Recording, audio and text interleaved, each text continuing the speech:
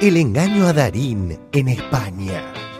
Se le complica a nuestro gran actor Ricardo Darín abandonar su neutralidad, ya que como verán a continuación es víctima de los engaños y tergiversaciones de la hegemonía mediática. Y no solo en Argentina. Repasemos los hechos. En su visita al programa El Espejo Público de Antena 3, Ricardo arrancó con una interesante apreciación que terminaría resultando paradojal. Qué bueno que viniste. En un momento además de, crisis en nuestro país, solo hablamos de la crisis y tú lo debes saber, estamos obsesionados y tal. Vosotros que habéis vivido el corralito, que habéis pasado por situaciones tan complicadas, que nos retratas además en esta película Elefante Blanco, eh, esas vías miseria, ¿no? Donde no, no tienen apenas nada. Nada. Desde esa distancia, ¿cómo se ve lo nuestro, Ricardo? Bueno, ese es, eh, es importante ponerlo dentro del contexto, porque ya me pasó, me ocurrió hace un año atrás, di mi opinión, pero claro, luego en la prensa aparece una frase fuera de contexto y parece que quisieras decir todo lo contrario de lo que dijiste. Hablábamos de una paradoja. En efecto, acto seguido, Ricardo fue víctima de una sacada de contexto que lo llevó a conclusiones producto de la distorsión. Para que se entienda lo que en un ratito veremos, comencemos por el fragmento que Antena 3 sacará de contexto en forma completa. Luciana y Valentina Ruggero, que son hijas de María Laura Ruggero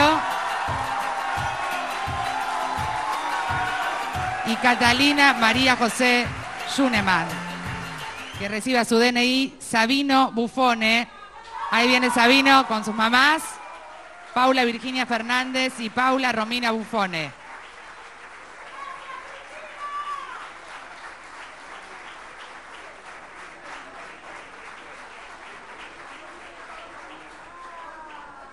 Este decreto permite la inscripción de cientos de niños y niñas de familias comaternales nacidos antes del matrimonio igualitario. Esta muñequita es una muñequita que eh, la vendemos, la hacen las chicas. Ojo, hay, hay cristinitas, esperen, esperen. Hay cristinitas, hay Néstor que tienen alitas, hay de Pepe Mujica, las chicas ahí están. Eh, hay de Chávez, hay de todos. Y, ojo, y las vendemos acá en el Museo del Bicentenario y recién Sanini, esta soy yo, voy a decirte y mandar al frente lo que dijiste. Le falta la escoba, nada más me dijo por mí. Me trató de bruja. Pero bueno, pero de las buenas, de las buenas brujas. De las buenas brujas. la verdad que hoy es un día de inmensa reparación. Eh, yo decía a los chicos que gritaban por la liberación, no, hoy hay que gritar por la igualdad, que es tan importante como la libertad. Bien, esta fue la realidad, pero esto le editaron y presentaron a Darín en Antena 3. Te voy a preguntar por una política que a nosotros nos tiene maravillados. Cristina Fernández de Kirchner, tu presidenta. Bueno, a, muchos tiene eh, ¿A ti también? A todos nos tiene bastante impresionados. Constantemente nos sorprende con alguna de sus excentricidades, eh, no sé si llamarlas eh, demagogias, pero esta es la última, la muñequita Cristinita, de la que estamos satisfecha, la vemos. muñequita es una muñequita se llama Cristinita, mide 30 centímetros y lleva un vestido negro al más puro estilo enviudada Barbie de tela. Es la última propuesta de la presidenta de Argentina, una muñeca de trapo hecha a su imagen y semejanza. Esta soy yo, voy a decirte y mandar al frente lo que dijiste. Le falta la escoba, nada más me dijo por mí. Me trató de bruja. Muchos se preguntan ahora cuál será su próxima jugada.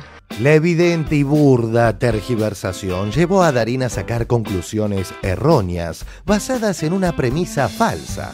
Muchos se preguntan ahora cuál será su próxima jugada. Yo quiero hablar de la igualdad. No conocías tú la muñeca, te la has perdido. No, no, había tenido la oportunidad. Tengo miedo de llegar y que, ya se hayan agotado el stock y no me pueda comprar la mía. La verdad es que no, no me lo perdí. Yo creo que de alguna forma la presidenta está tratando de volcarse sobre su costado más este, de comedia.